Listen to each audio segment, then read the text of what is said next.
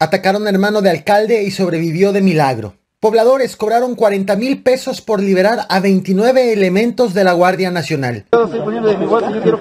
Y mujeres le piden ayuda a Andrés Manuel López Obrador ante el temor de ataques de la familia michoacana. Tenemos miedo y tememos por nuestras familias. Bienvenidos al Caporal del 10 de marzo. Comenzamos.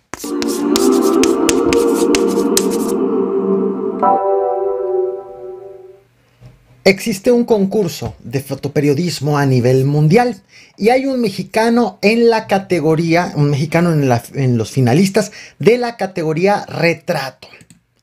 Estás viendo en pantalla justo el retrato tomado por el mexicano Iván Macías, finalista del World Press Foro 2021, por esta imagen de una doctora de la primera línea de atención del COVID-19 al final de un día de trabajo con las marcas justo del equipamiento que utiliza.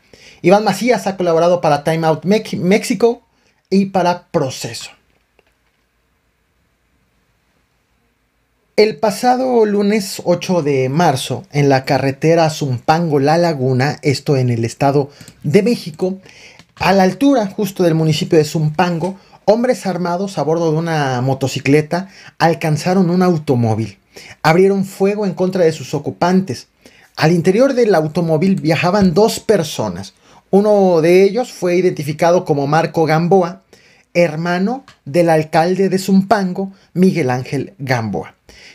El hermano del alcalde resultó herido en esa agresión y su acompañado, su acompañante fue asesinado a tiros. Tras la agresión, los pistoleros se dieron a la fuga. El hermano del alcalde, herido, condujo el automóvil hasta el estacionamiento de un hospital en donde recibió la primera atención médica.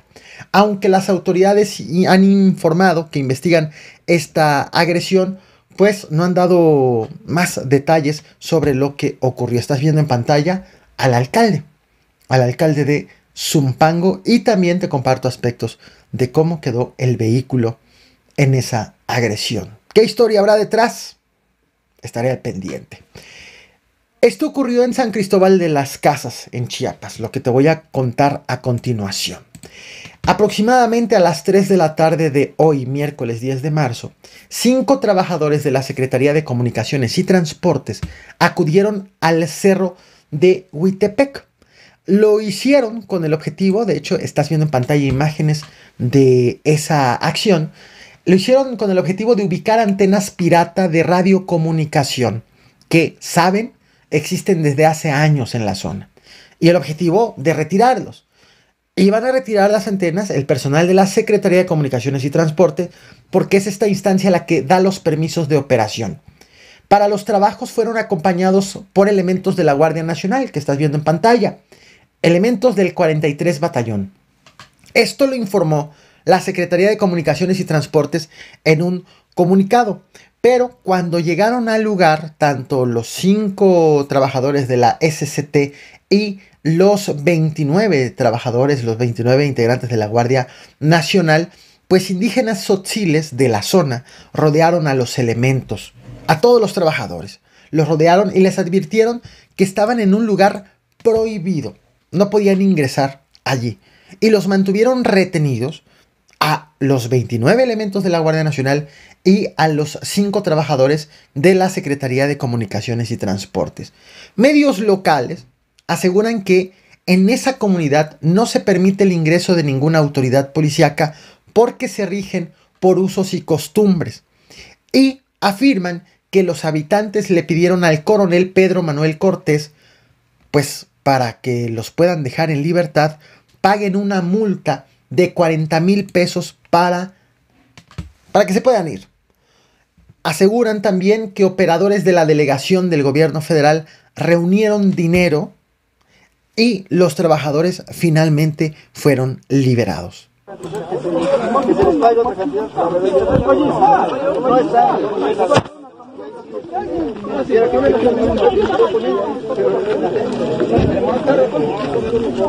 No, pues que digo yo, ahorita difícilmente pero No, y, fíjate, nosotros tan es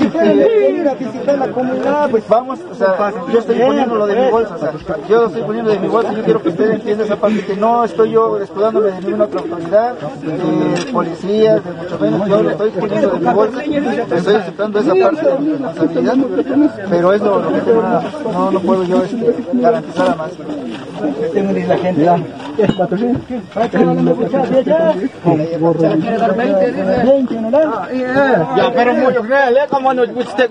Carro Recuerda que tengo una sorpresa para ti que te haré llegar por correo electrónico, así que regístrate a la página elcaporal.mx. El pasado 25 de febrero te traje a este canal este video. Estás viendo la imagen miniatura, muy parecida, por cierto, a la imagen de este video que estás viendo, porque tienen, tienen mucha relación.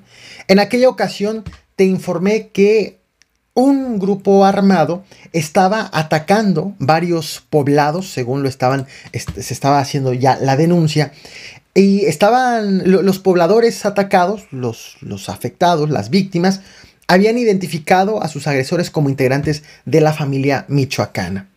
Este grupo armado estuvo atacando varias comunidades y en aquella ocasión pobladores, principalmente mujeres, pidieron ayuda a las autoridades, lograron pues subir un video a las redes sociales para pedir que rápido lleguen al lugar y lo que recibieron sí fue apoyo del ejército. Esto en el municipio del Pescado, en Coyuca de Catalán, en Guerrero. Recordemos lo que pasó el 25 de febrero y ahorita te platico qué es lo que está pasando en este momento. A ver, Armanda. Ayúdenlo, por favor. Ya estamos peleando nosotras, mi hacienda ya también, ya vivimos acá. Ayúdenlo. Aquí esta gente que está pidiendo ayuda, por favor, estamos pidiendo ayuda, estamos todos con harto miedo, por favor, ayúdenos aquí, tenemos hartos niños y por favor queremos ayuda.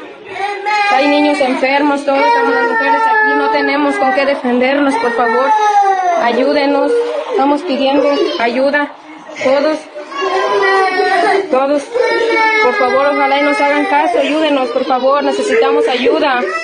Gente reunida aquí donde puede uno aquí en este en el centro de salud que es el, único más refugio que uno puede acoplarse y estamos pidiendo todos ayuda aquí reunidos porque estamos solas, nos amenazan, que vienen por nosotros, que vienen y por favor esperemos que nos hagan caso, estamos asustados y hemos pedido varias ayudas y nada más nadie nos ha, nos ha hecho caso, señores. Por favor, espero que, que nos hagan caso y nos manden un refuerzo. Hay muchos niños, hay mucha señora y no nomás aquí, hay en otros refugios que están escondidos. Tenemos miedo, señores. Esperemos que nos oigan y nos hagan caso.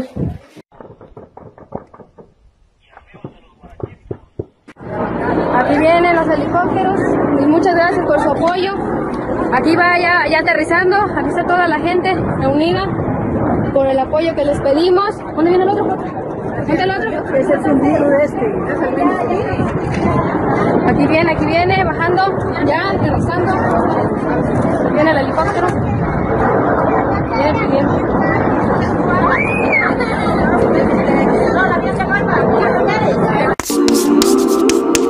Bueno, esto fue del pasado 25 de febrero. Eh, después de este día, tras estos acontecimientos, fueron reportados 15 personas muertas, 5 personas heridas, del lado del grupo armado que estaba llegando al lugar. La zona fue reforzada por elementos de la Policía Estatal, la Guardia Nacional y el Ejército. Ha existido desde entonces también migración de pobladores. Alrededor de 800 personas han abandonado sus casas por temor a ser atacados nuevamente. Consideran que no hay garantías para quedarse. El gobernador de Guerrero, Héctor Astudillo, ha dicho sobre este tema que pues no es cierto que en esa zona hayan ocurrido enfrentamientos y que no está esta situación de violencia como lo han advertido los pobladores. Ahora bien, desde el pasado domingo 7 de marzo se retiraron varios elementos que estaban cuidando la zona la zona en cuestión.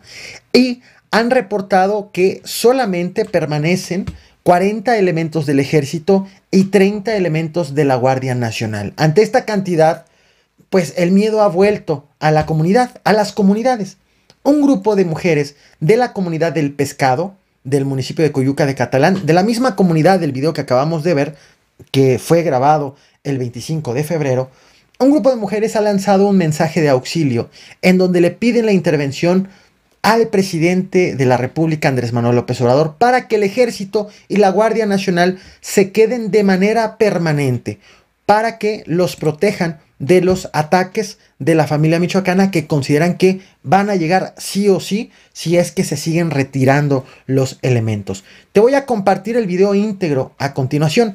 He decidido poner la imagen borrosa con el objetivo de proteger la identidad de quienes están solicitando ayuda. Nos vemos ahorita en Twitch. No olvides, no olvides reventar el botón de like y suscribirte.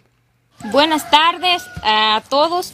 Este video es con el fin de exigir, al presidente de la República, con todo el debido respeto, su ayuda para mantener seguros nuestras familias.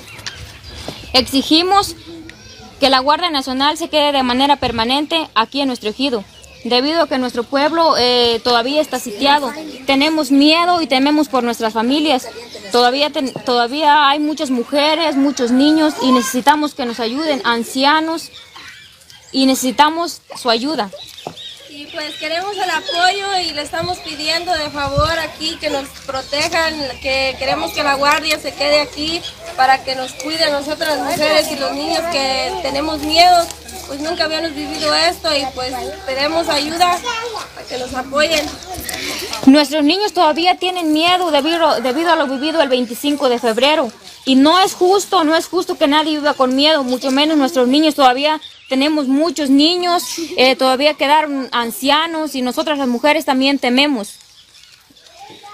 Todos tenemos derecho a sentirnos seguros y libres. Exigimos con todo respeto este derecho, el derecho a la libertad y a la seguridad. Sí, pues es mucho lo que hemos vivido atormentados aquí.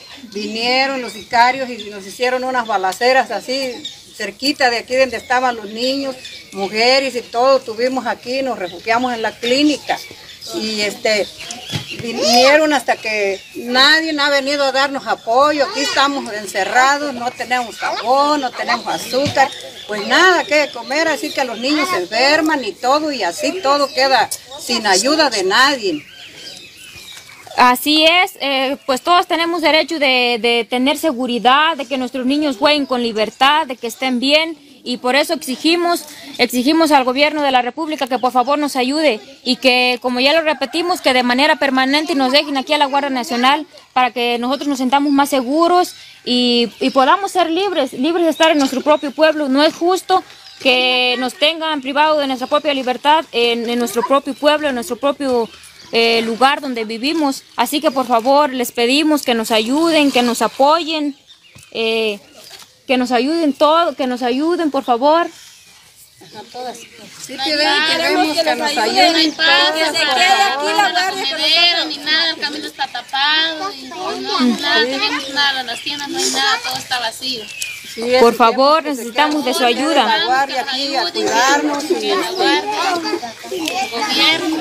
Tenemos miedo y tenemos miedo, así que esta es la razón por la que exigimos, eh, que exigimos que la Guardia Nacional se quede, se quede a ayudarnos, apoyarnos y exigimos que nos apoyen. Es un derecho que todos tenemos, que todo, el derecho a la libertad, el derecho a, a, a la seguridad, a estar seguros.